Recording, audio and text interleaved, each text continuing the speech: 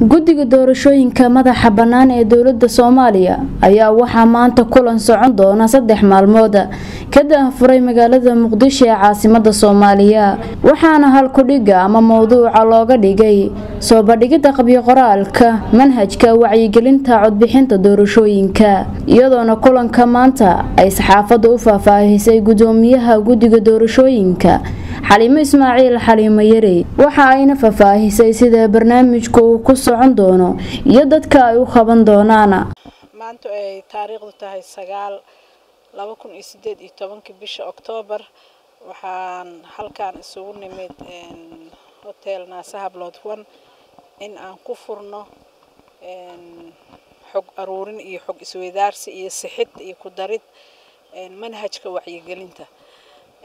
qodobada ugu waaweyn tiirarka ugu waaweyn ee dastuurka uu u qorahayo sharciga doorashooyinka oo mas'uuliyadda ay ka saaran tahay waxaa waaye inay wacyigelintiisa usam wacyigelintii doorashada iyo wacyigelinta codbixiyaha uu guddigu diyaariyo. Si taas lagu diyaariyo marka wacyigelintaas waxaa qasaba in la helo manhaj. Laba bilood ka hor waxaan diyaarinay la tashi la sameynay bulshaweynta madax mas'uuliyiin ka socotay gobollada dowlad goboleedyada ururada bulshada xisbiyada oo ah xubinta ugu weyn ee runtii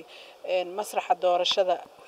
ka qayb qaadata oo kuwa lagu tartama ay ayaga yihiin waxaa laysla soo bandhigay cutubyada ugu waaweyn oo uu ka koobnaan doono manhajka iyo hagaha naftiisaba.